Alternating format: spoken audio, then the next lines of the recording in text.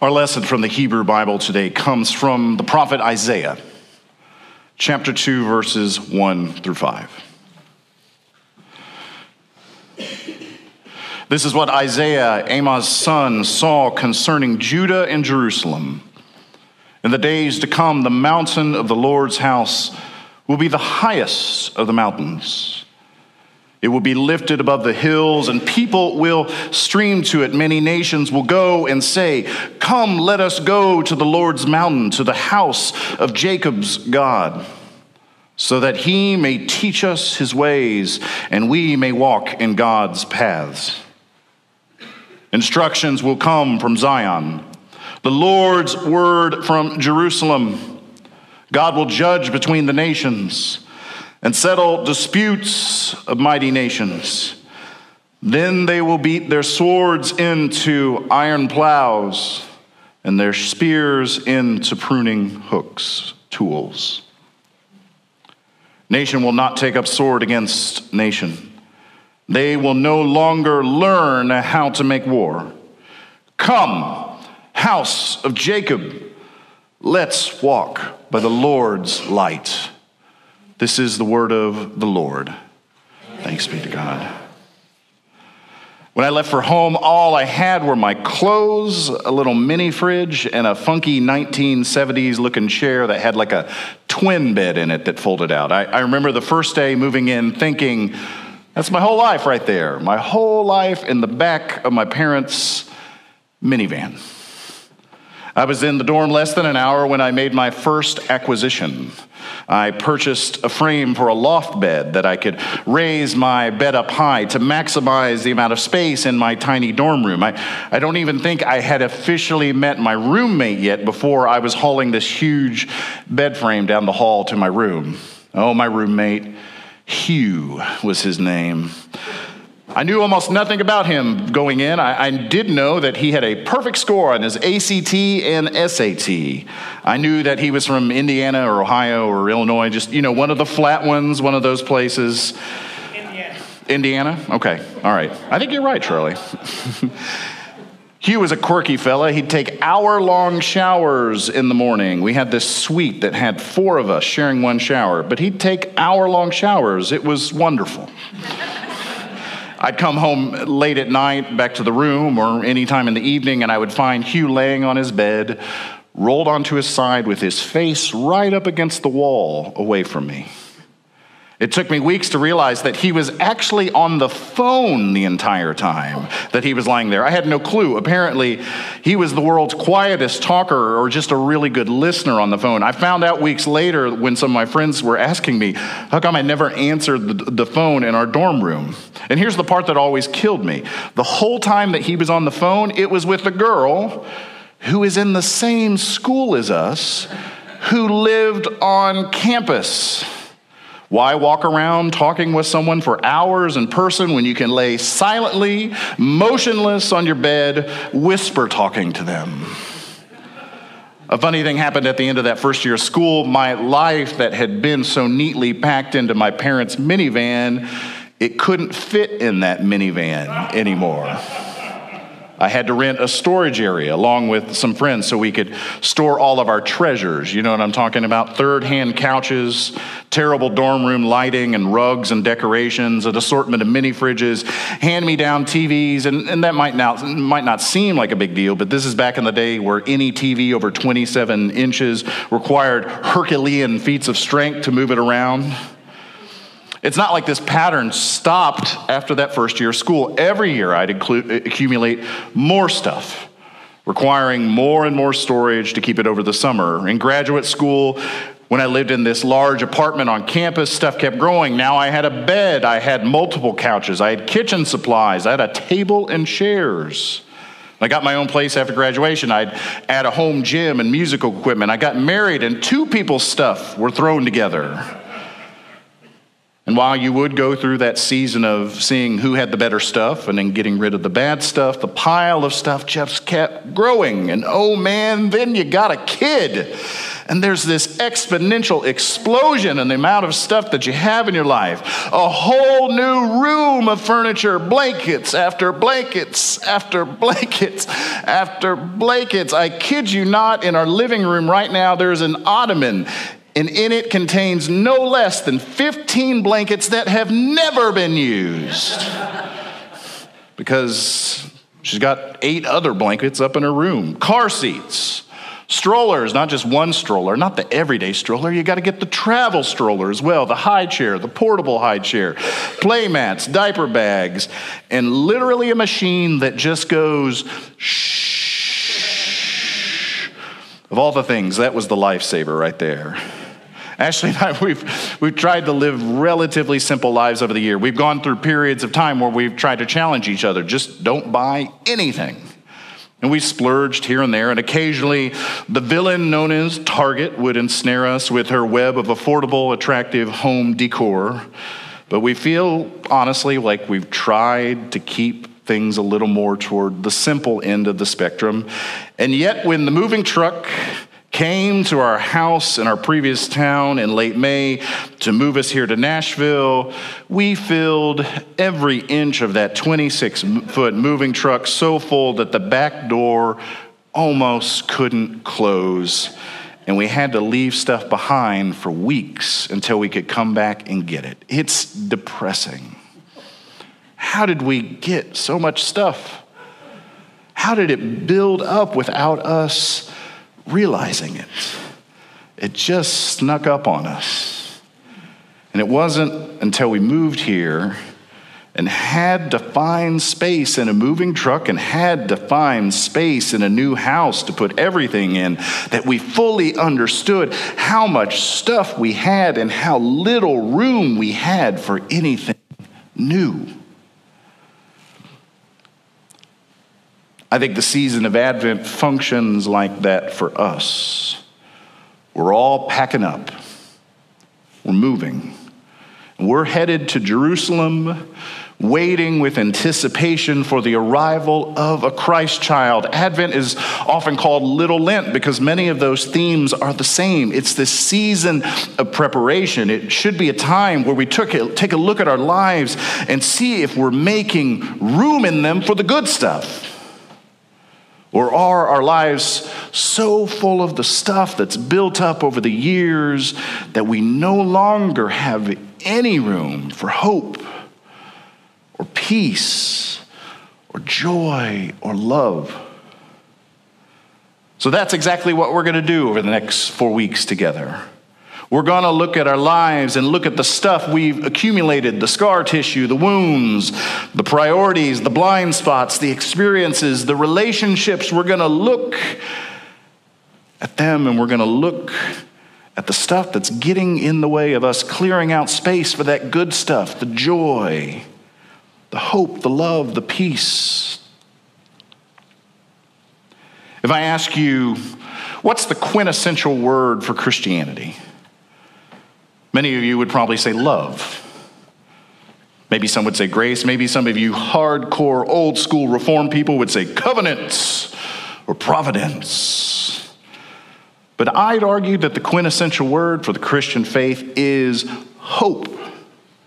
The scholar N.T. Wright actually wrote a whole book about it called Surprised by Hope. And in it, he talks about hope being the defining feature of our faith. Christianity literally changed the definition of that word, hope. That word we have in Scripture translated as hope, it's elpis. In the ancient Greek and Greco Roman world, it didn't mean hope as we understood it, it just meant expectations. The thing is, the expectation could be good or it could be bad. It, the one thing it couldn't be was neutral. Now, we'd never say, My hope is to drive home today and find that our house is knocked over by a tornado. We'd never say that. My hope is to be stuck on 440 some point this week for three hours. We'd never say things like that. But in the ancient world, hope was merely your expectations about the future. Not a wish, not a positive feeling, just an expectation. Maybe a good one, but oftentimes back then, maybe a bad one.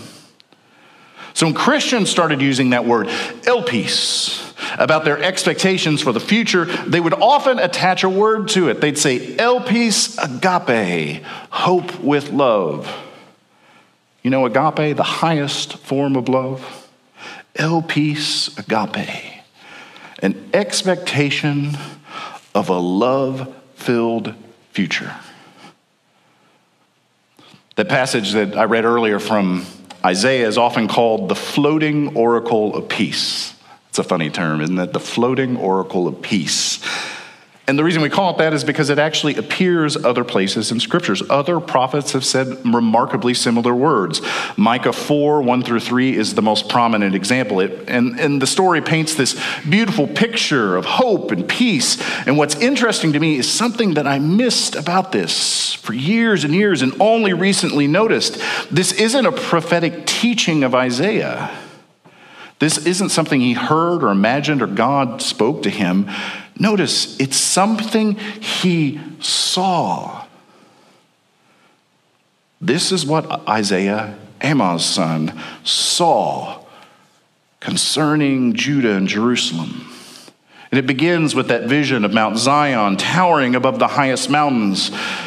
And when, whether Isaiah means the entirety of Jerusalem or the Temple Mount or Mount Zion that's a little bit away from that. We don't know exactly what he saw, but whatever it was, it was very tall, taller than any other mountain. And if you've ever been to Jerusalem, you know that it is a city up in the mountains. As you drive from the coast down at Tel Aviv up into the city, you gradually climb through the hills. But it's not just one hill or one mountain, it's a whole series of hills and mountains on a plateau.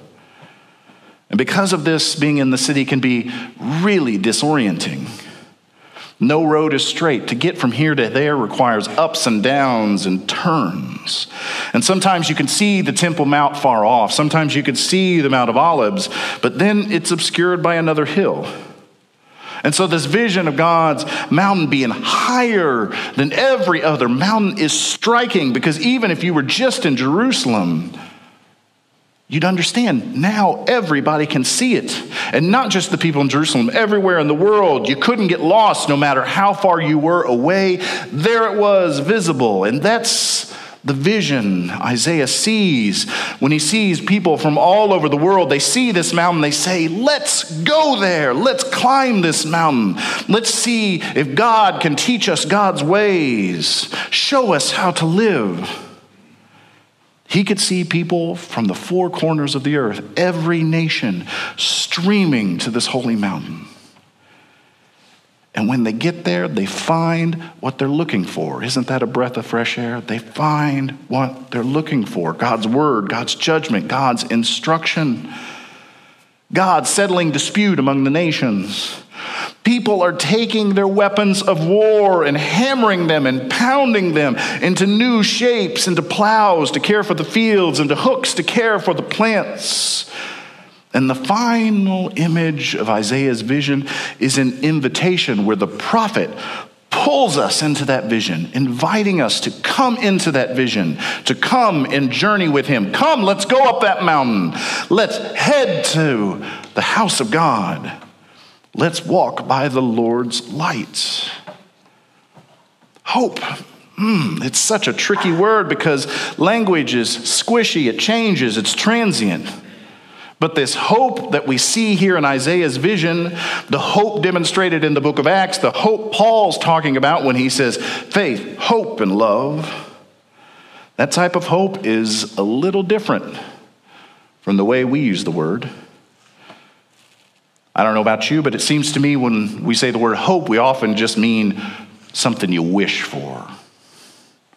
Not necessarily an expectation of something that you think is going to happen. It's something that you'd like to see happen. It's a wish for the best possible outcome, a realization of a dream, some lofty goal that you hope to achieve.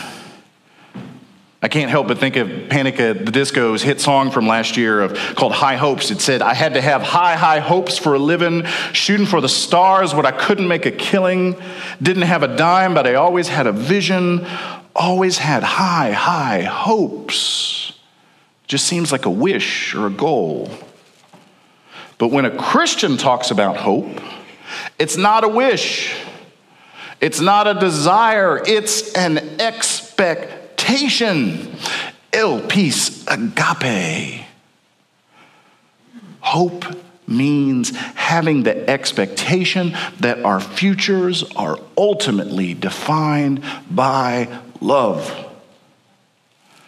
That's why scholars call hope, in the Christian sense, an eschatological gift.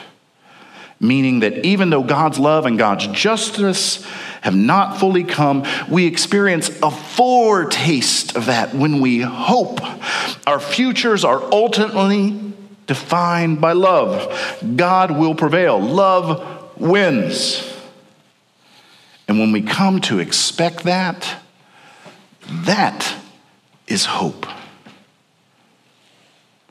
And so when we begin to understand hope in that way, it becomes a little more clear how we push that out of our lives. Maybe it's not fully out of your house yet. Maybe it's simply stuck up in the attic next to the Halloween decorations. Or maybe it's out in the shed waiting for the spring to get a little use. How do we create room for hope? How do we create space to place hope prominently in our lives? How do we get that expectation of love? I think what's interesting is Advent and Christmas, it drops hints all around us because we are primed for a big, big event. Even if we don't believe in Jesus, even if we aren't celebrating his birth, our culture is priming us because something big is happening. It's everywhere. There's a sense that something could happen, something magical. You could talk to animated deer. A whiff of the possibility that the miraculous could happen. And what it does is it exposes, it exposes in us a profound yearning for something deeper. So think about it. We, we tend to have nostalgia about the Christmases of our past when we were kids. And then when we're around kids, we tend to idolize the wonder and naivety of children around Christmas. It's a theme that's picked up over and over in our movies, whether it's George Bailey or Ebenezer Scrooge or Buddy the Elf. The story is the same. We want to believe in our core being that once again, impossible things are possible. But our lives, we got years of disappointment. We've been let down, we've been lied to, we've been used, unseen, mistreated. We've tried and we failed. Maybe we're not where we thought we'd be. We filled our lives with other values. Maybe like getting ahead at work, climbing that corporate ladder. We're concerned with status or power and looking successful, having the right friends, visiting the best places, making that Instagram look perfect. And these things have made us cynical. And so we hedge our bets, thinking if I want something good in my life, I'm going to have to get it. I'm going to have to do it on my own. So maybe you've not gone full Ebenezer Scrooge, but I trust that we can all admit to some degree we got some cynicism in us. You might call it something different. Maybe you put a nicer word on it. You'd say, I'm a realist. I'm a pragmatist. I'm just being practical. But whatever we call it, cynicism takes up some of that space where hope should have in our lives. It shoves it out, and along with it, the joyful expectation that our futures will be defined by love.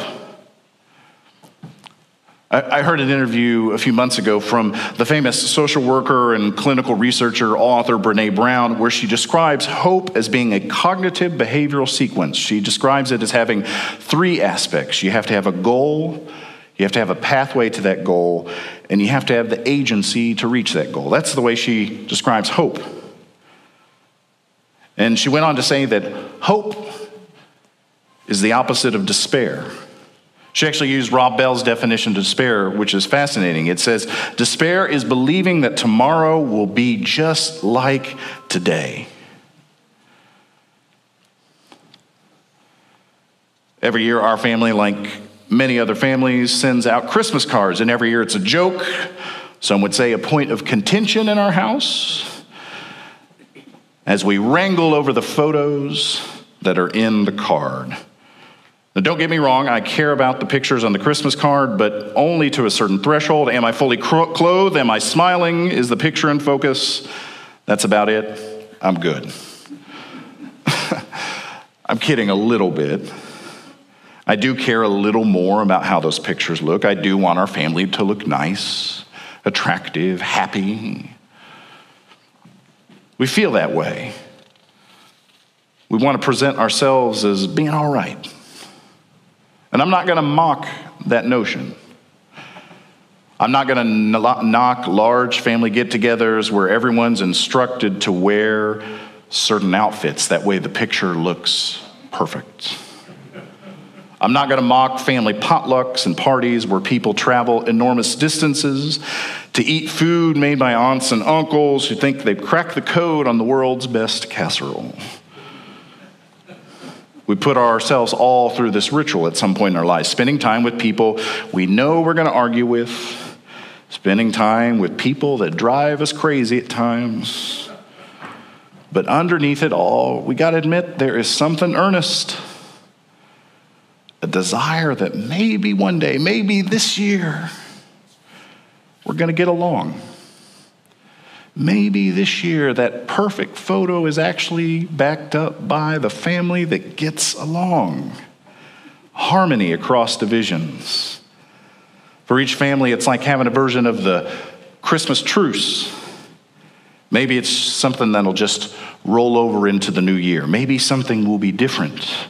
For the swords of family warfare to be beaten into plowshares, the spears into pruning hooks. As a family, we've already been to two different Christmas spectacles, and I'm sure more are coming. We've been to Zoolumination and its Christmas village out at the zoo. This past Wednesday, we went to Cheekwood to see the lights and the reindeer. We all decorate to some degree, some more than others. Some of us have entire rooms of our houses dedicated to storing the enormous amounts of Christmas decorations that we put up every year to cover every inch of our house. Some of us have six Christmas trees. Some of us, not to mention names, Stephen Nix, has Christmas trees that spin in their house. It's very impressive, Stephen. Maybe you have a family tradition of driving around looking at the lights. Perhaps there's that one house, you know the one. Every neighborhood has one. The house that triples their electric bill every December because they're trying to make it so their house is seen from space. And the house rides that amazing thin line of being beautiful and a little bit trashy. Those are the best houses. This season is a spectacle sights, sound, color. And it too comes from a deeper place, a deeper yearning for something so grand as to see the mountain of the Lord high above every mountain, to see the people of the earth from every nation so captivated by that vision that they're streaming to it to be in the presence of God. Despair really is the opposite of hope. That's why I don't mock these attempts to heal old wounds. That's why I don't want to mock being captivated by a spectacle, because they are earnest attempts to capture something more, something deeper. And if we're going to make room for hope, we're going to have to clear out enough space in our lives for hope to have its proper place in the center of our homes. It means we're going to have to grapple with despair. And this season is full of it. The parties, the business, the busyness, the spectacle of it all, while it might be captivating, it can also be a reminder of what we've lost.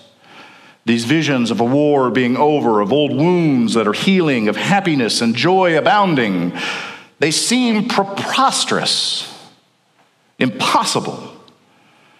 And honestly, the only fitting response when you first hear them is bafflement. How can joy be found with what I've been through?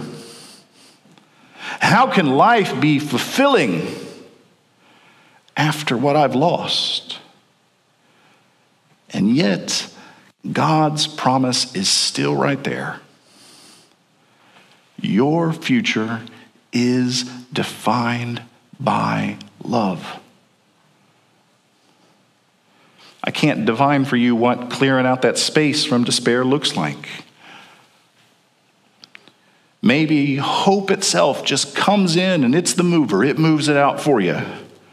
Maybe it's a long, gradual process. Maybe it just happens in a fell swoop. However, it happens, I know that the promise of God remains. Your future is defined by love, because love wins. There's something revolutionary about Isaiah's vision. It happens there at the end. Because when we seek God together, God will be present. Hope, when it comes, it always arrives with an invitation.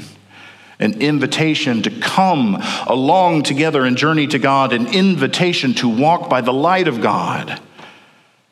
And what's so wonderful and such great news is that this invitation is not far off. God's ultimate victory over fear and despair, yes, it's yet to come, but we can still participate in that gift of hope right here and right now. So go home today and start packing up cynicism. All that stuff in you that says it's all up to you, that there's no better possibilities out there. Pack it up, put it on the curb, clear out that space for hope. The expectation that your future is defined by love. So go home today and find that door that you don't want to open, that messy room of despair. That room is so cluttered and so messy that cleaning it up is overwhelming. Go into that space and work on one small thing. Don't worry about the whole mess. Work on that one tiny corner clear out a little bit of space. A little bit of space that hope might grab a foothold in your life. Open that room and yourself up to the possibilities of the promises God has for you. Do you see it? Do you hear it? swords beaten into plowshares. The darkness of this world, it's not going to prevail. Conflict is replaced with community. God's light will not be denied. The reign of God will come. There is hope. There is an expectation of love. So let's start moving out some of this junk, this stuff that we've accumulated over the years that isn't doing us any good. Let's make room for the confidence that comes with holy expectations. We don't have to be cynical. We don't have to be divided. We don't have to be estranged. We're not stuck with despair. We're not bound by fear. Tomorrow will be different from today because we have an expectation that our futures are filled with love. So may we have hope. Amen.